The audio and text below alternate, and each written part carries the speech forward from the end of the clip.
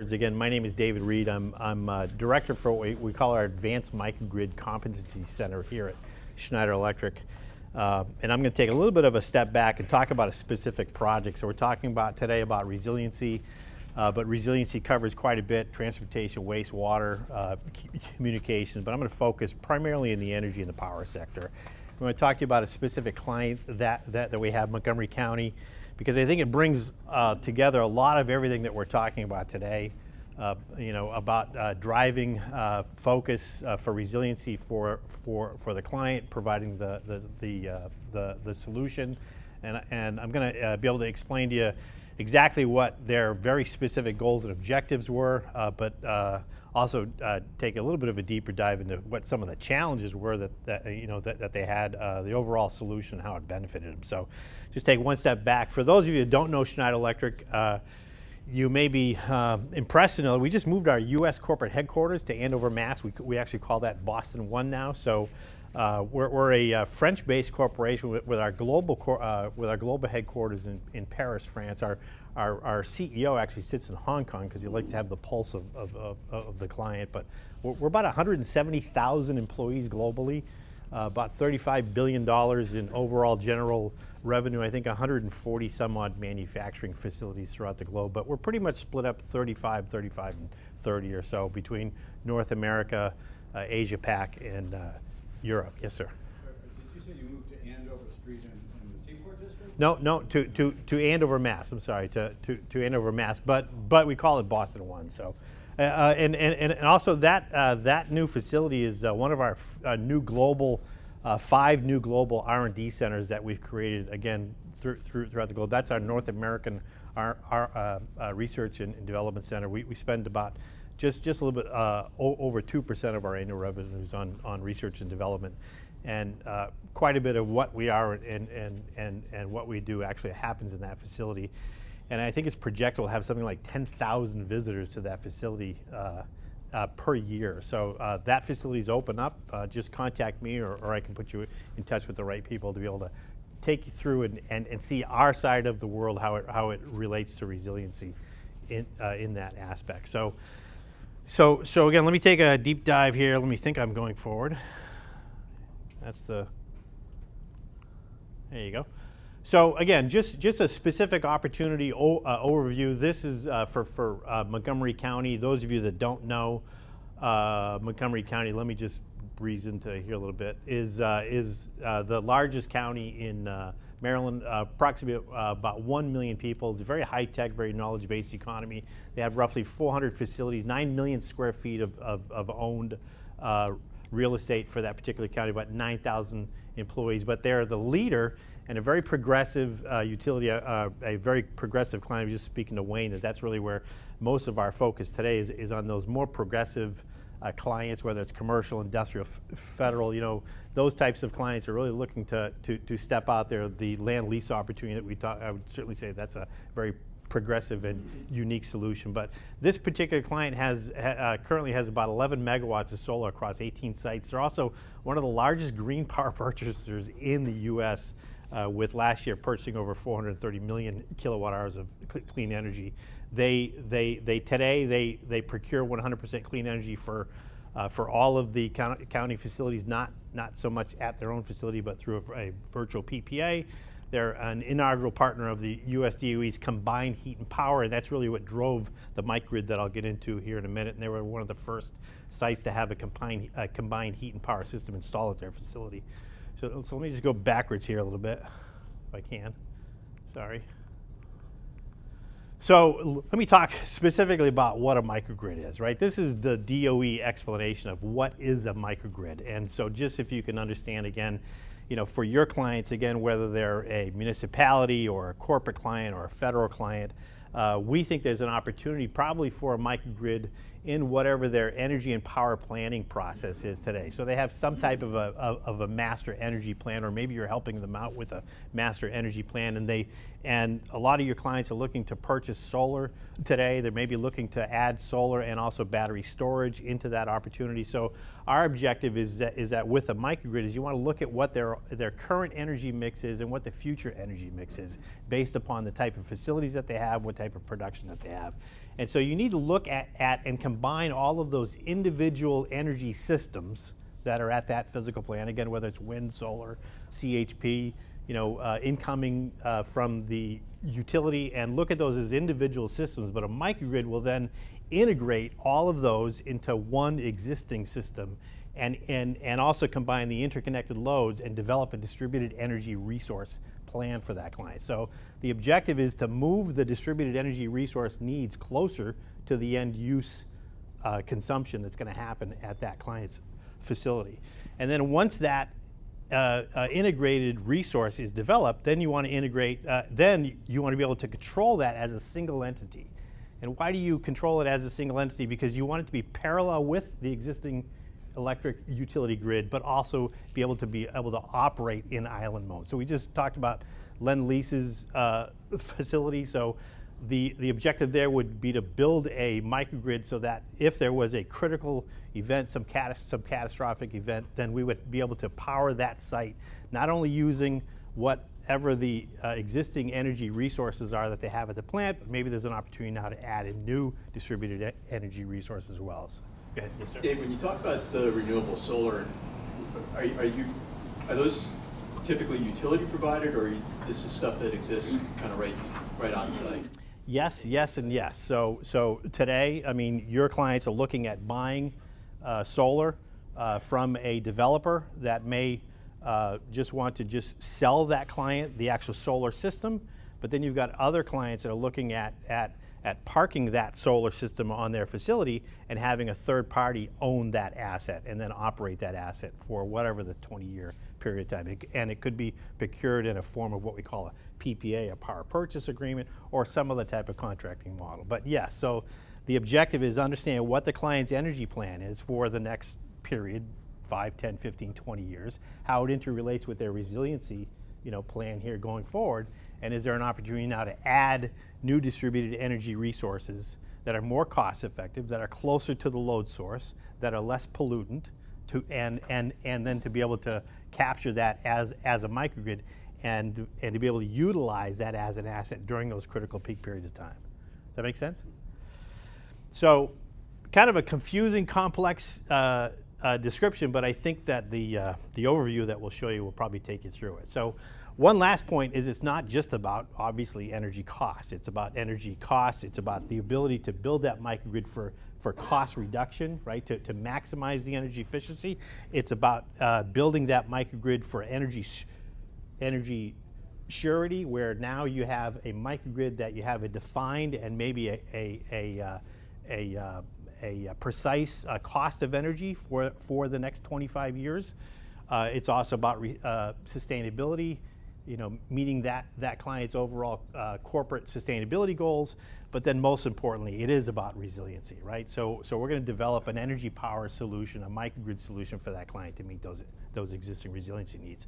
So, so um, um Montgomery County is a, is a uh, you know, county governance, but uh, it doesn't matter the type of a client or the type of facility, again, whether it's federal, commercial, industrial, municipal, or, or whatever, they have a hot button somewhere in this box, and that's what's driving uh, their needs for a microgrid in that space. So, so, um, so you know, this is the dilemma. You know, right? Th this is usually what starts the discussion. It's it's it's either something that happened in Storm Sandy, or maybe again they are a more progressive, you know, client that's looking out towards the future. They have a, a, a need and a desire to develop some type of resiliency plan, and power and energy resiliency is obviously a big part of that. So, so what was unique about this client, and what was so incredibly uh, helpful with this client, is they had some very very clear objectives going into this opportunity at the very beginning process.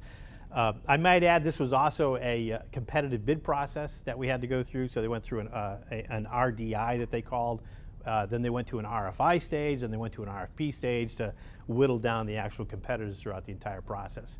But their objectives were number one, improve resiliency of county operations. So they can't improve resiliency of 100% uh, of all of the county operations. So the first thing that they did was they prioritized their facilities and they developed a resiliency plan for all of those facilities.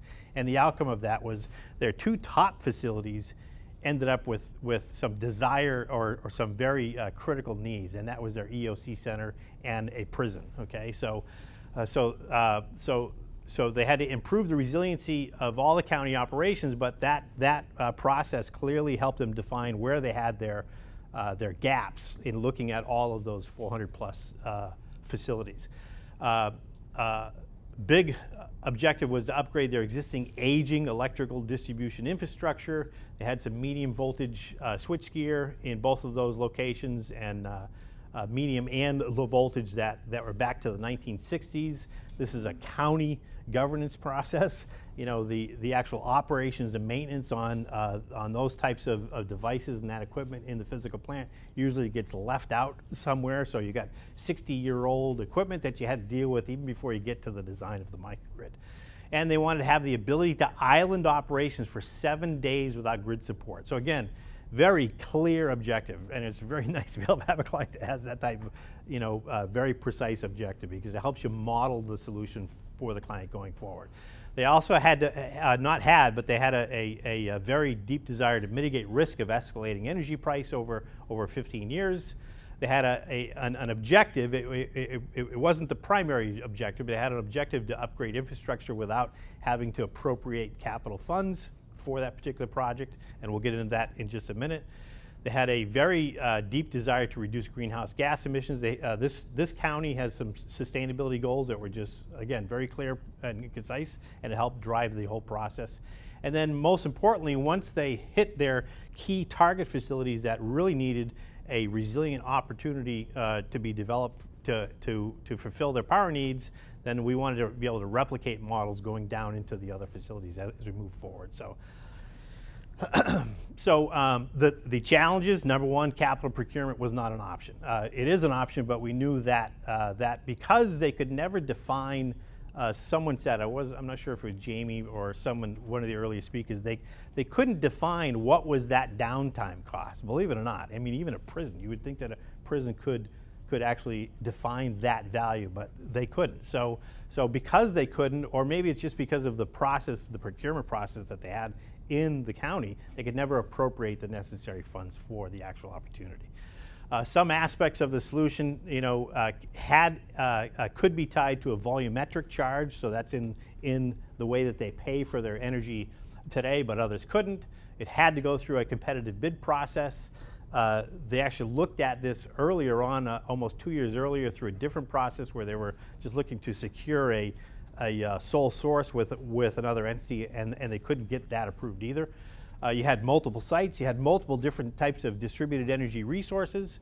Um, uh, the required assets had varying economic useful lives, right? So at one facility, you have uh, a 20-year useful life of this type of application versus at another facility, you only have a five-year useful life. So how do you value the economic you know, perspective of that type of project?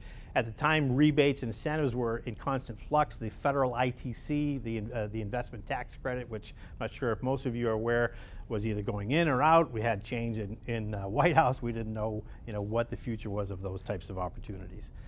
Uh, so the project scope getting a little bit down further details. So think of it, you, you, you, have, you have a microgrid uh, for the county campus, but at sitting at two different locations. So it's one microgrid, believe it or not, even though we're at two specific locations that I think they're about a, a uh, 22 mile difference between uh, between the public safety headquarters and the and the actual prison out in out in Boyd's, Maryland. But uh, so, so, uh, so when we think of microgrids, we think of what we call anchor resources and other distributed energy projects. So the anchor resource in both locations was a CHP system, a combined heat and power. So think of it as a natural gas-fired generation system that is that is that is actually uh, meant to actually generate heat and hot water, but also there's a turbine that also generates uh, electricity, and so that's where we come up with the term combined heat and power system.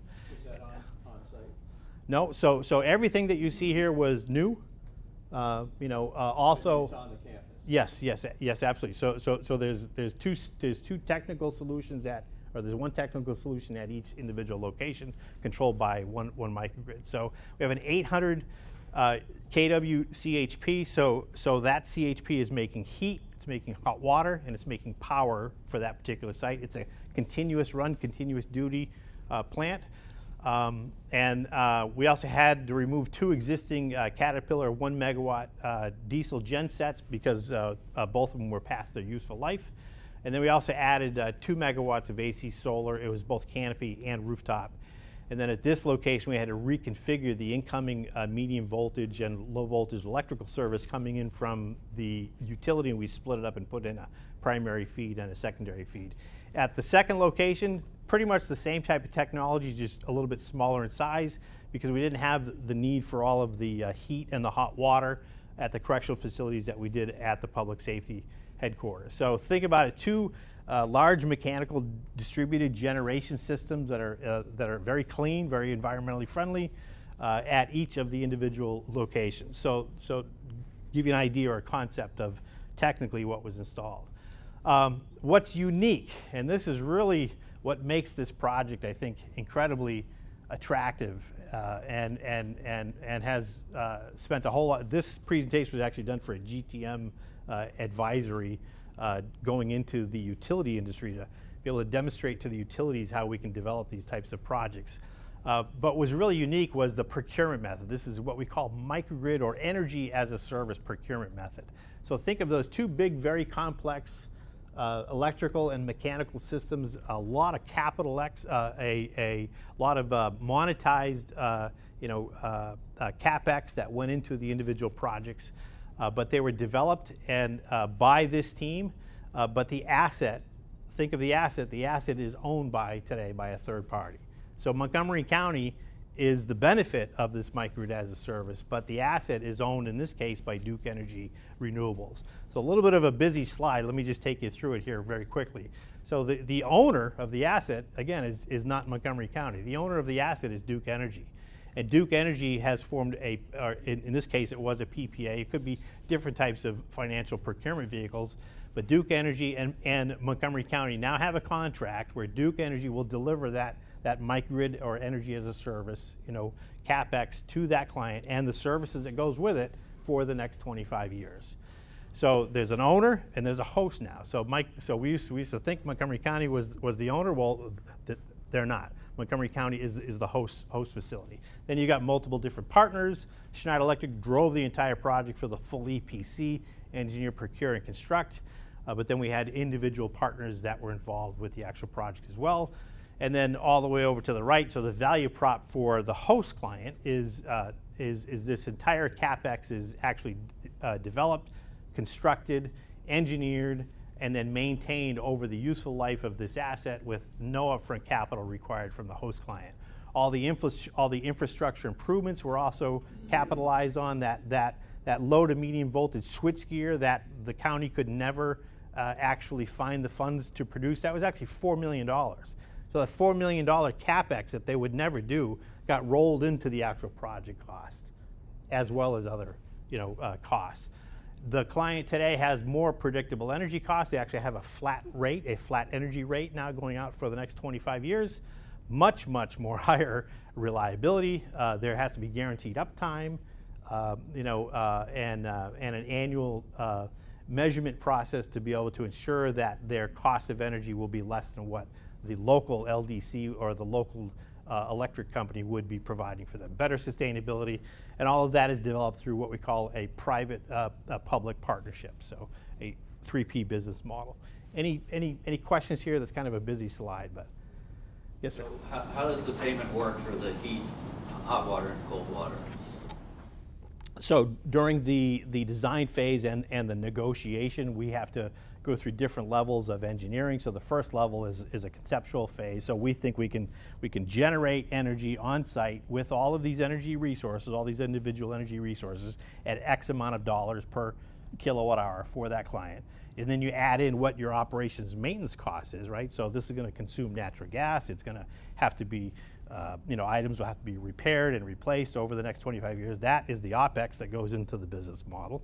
And then out of that, there's a return for the asset owner, there's insurance requirements and everything else. All that goes into the actual, you know, performed model over the over the 2025. Actually, Ohio State just uh, secured a 50-year uh, PPA model to do exactly the same thing. So all the all the capex and all the opex costs go into the model. It's it's extended out, and that's where you start your physical negotiation with the client. Is it a flat rate or does it adjust over the twenty-five years? Yes and yes. Thi- This is, uh, this is a, uh, this is a flat rate out to, I think it's, I think it's out to the 12th year, I believe it is. And then the 12th year, there, there is some certain escalation, but that's really what the client, you know, uh, wanted to do and their negotiation on, on their side won that part of the deal. Does that make sense? Yeah, so just to be clear, so, you know, obviously you buy the electricity through the purchase power agreement, but the actual energy and hot and chilled water As well. is built into that Absolutely, same. absolutely correct. Yeah, yeah. So, so there's there's uh, there's constructability guarantees that you have to deliver X, you know, X uh, X amount of kilowatt hours and X amount of BTUs of thermal, you know, at a certain range and so on. Uh, so the benefits to to MoCo. Uh, this is again, this is a little bit of older side. It says produce almost. That you can cross out almost. We are now producing because we're in the second phase now. We, we, we are now producing all energy needed for the site. For this for these first two sites, about 3.6 million kilowatt hours uh, annually. Uh, we've achieved their sustainability goals by reducing greenhouse gas emissions. Uh, we, we, we allowed them to, again, to avoid that $4 million CapEx uh, project that was sitting on the horizon that they could never appropriate the funds for. Uh, locked in known energy price for 25 years. Also, um, again, I'm not sure how many of your clients are, are trying to go through uh, interconnect uh, processes by adding these new distributed energy resources into their site, right? So, so if you're adding a solar panel, if it's a certain uh, size of solar system, you have to go through an interconnect process with the utility, and there's a whole lot of engineering has to be done. And you really don't know if, if uh, what the outcome of that is until you get the original, what they call the primary report for the inter- interconnect.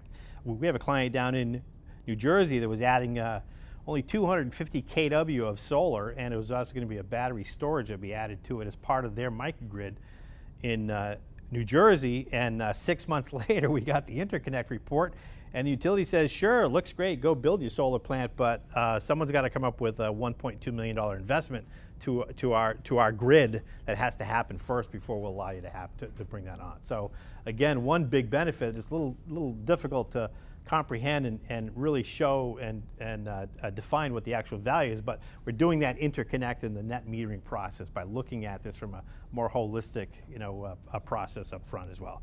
And then bottom line is we delivered $1.3 million in, in, uh, in state grants for this particular client. So, so, so we achieved uh, the overall objectives for the clients, and now, like I said, we're in phase two of uh, picking up some additional facilities at that, at that campus. So that's it for us. Any questions? Yeah, in that area, um, outside of the, mi- mi- separate from the microgrid, is power generation and transmission two different entities or? Yes. they- Yep. It is? Yep. So, Well, no, uh, uh, uh, yes, by uh, you know, it's all it's all part of. I can't remember, remember what the ISO is, but it's all part of that ISO grid. Uh, there are some utilities, uh, the smaller munis, that don't have to participate in any type of transmission overhaul pro- programs. But but yes, does the municipality own and manage the the distribution? Yes. Or is the, yeah, is Duke the overall energy power provider No. to that area? yeah. Um, Is No, there a thi- lot of? thi- re- This is, uh, so one is Exelon, or it's uh, Pepco, which is now owned by Exelon, and the other one is a muni. So you're, obviously, you're buying less electricity from them. Correct. You're using the existing uh, grid to some extent, and then, because you're now connected to it, and then you're generating some of your own electricity. Correct. So is there resistance on the part of the power, you know, the general area power provider to microgrids? Uh, Excellent question. And that depends upon uh, what utility that you're in. Uh, uh, Depending upon the project, we always make an effort to reach out to the electric uh, utility. Here in New England, you got some very progressive utilities that are willing to work with you. Other parts of the country, it's not always that way. Uh, They can't stop a client, okay? So this is considered what we call behind the fence, right? So this is a- a behind-the-fence microgrid that's sitting on that client's own uh, property. And so the client has the opportunity to develop as much distributed generation But that as, stop you on the net metering. At, on the net metering and the interconnect process, absolutely, absolutely correct, yeah. So, so it always benefits you to be able to make sure that you're working directly with the, you know, whoever the LDC, the electric utility, and also the gas utility as well. Absolutely.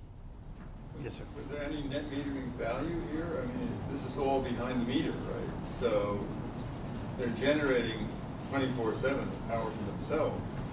And then what, what other power they need, they draw from, from the power company.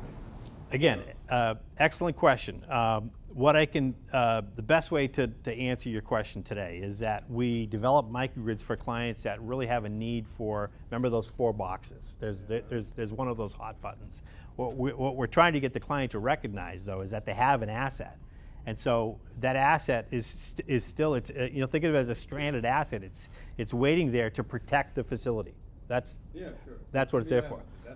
Right, exactly. But during during normal operations, you've got the asset. You want to be able to maximize that. So I can speak for another hour about that, right? So so the the, the, the objective is is this is what we call moving the client, the, the host client in this case, from being a uh, consumer to a prosumer, right? So think about the the the uh, the strategies that they can start to develop uh, because they own a, a power producing asset. This total total anchor resource here uh, for the whole microgrid, I think, is uh, just under three megawatts.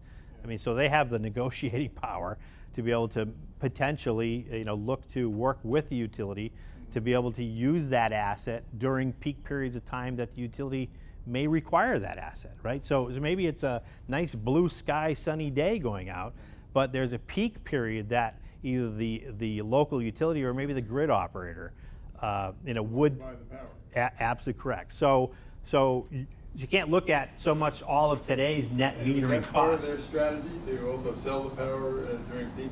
I wouldn't say I wouldn't say it's part of their strategy, but they clearly see the, what the opportunity is, and, and in certain parts of the country, particularly on the West Coast right now, where time of use rates are becoming uh, not only a thing of the past, but becoming a negotiating point for the client. You can start to see if you have the capabilities to drive microgrid for resiliency needs. You're sitting there with this asset that could be much more beneficial financially for the client going forward, and we can model those. Why didn't you include uh, uh, storage so that they could uh, produce their own peak power? Phase two. Is storage there? Yes. Yeah. Oh, I didn't see any storage. Yeah, yeah, yeah, that, that's, Oh. that's, that- that's phase one. So, so most of our clients, uh, you know, storage works again economically, uh, primarily on the West Coast right now, and also certain parts of the East Coast. We have a very attractive storage program right here in Massachusetts. Cutting peak power costs is a great idea. Well, it is, but it's maybe not always that cost-effective techno- uh, technologically to be able to get it to pencil. So you have to look at, you know, again, the actual, you know, uh, uh, power profile needs of that client and build it into the, the actual uh, microgrid and energy strategy plan going forward. But, but excellent point. That is, that is really, you know, the future of where we are in the market today. You know, if you think of uh, the utility industry has always been a one-way power flow, right? Those electrons were generated at some point and delivered to another point. This client has the ability to still be able to potentially, you know, utilize that power uh, purchase, but also has the ability now to, through the distributed generation system, to make that power flow the other way. So now they're they become a prosumer, okay? Because they have the ability now to charge that asset back into the market again, and if they have the wherewithal, they'll do it. Absolutely. And that's why you see as an energy as a service model, that's why you see a lot of the uh, new players in the market, Duke Energy, uh, Exelon, uh, you know, uh, Nextera, uh, and as well as many other companies that are looking to make these investments in these uh, types of microgrids, you know, uh, because they fulfill a need today, and there's also an opportunity going forward as, as the market evolves a little bit further. These are um, nice, sort of defined facilities, so I get that. Have you, uh, have you been involved in any of these that play out, say, at a neighborhood scale? Uh, Like East Boston? Yeah, so, so when you say neighborhood, yes, we, we, we we have, we have, uh, we have actually quite a few uh, municipal microgrids. We, we have the first two microgrids in Connecticut under the DEEP uh, program. Th- those are in the ground. One's at Fairfield, uh, one is about ready to be signed now at uh, Milford. So, uh, um, but, uh, Now, do those do all Milford, or how does that work? No, only, only, uh, only today, only specific needs. So the microgrid is building the infrastructure for distributed generation for those specific need facilities. And you've got multiple different stakeholders. In this case, you've got, believe it or not, you have a gas station you ha- and you have a healthcare facility, right? Because part of the, the community's resiliency plan was to make sure they had, you know, energy and, and healthcare. Uh, now, again, that's dependent upon whatever the municipality needs are and what their desires are. So absolutely, community-based microgrids, I wouldn't, I wouldn't call them, uh, you know, uh, neighborhood microgrids, but community-based microgrids where there's a, a definition of, of, of a community coming together and developing those overall goals. Now, they just, um, tax, raising the tax, you know, raising the, uh, paying for it through taxes, or how are they? Yeah, uh, various fundings, uh, federal, local, uh, cost reduction, just like what we're talking mo- uh, uh, and also, you know, being able to park and anchor that resiliency generation need at, at, you know, at that community. So again, these aren't just, you know, assets that are, that are meant to be stranded, that'll sit there and wait for another storm Sandy. I mean, they're there to be able to create, you know, some type of economic value as well as achieve, you know, their sustainability goals going forward. So absolutely, that's a big part of our business. Thank you.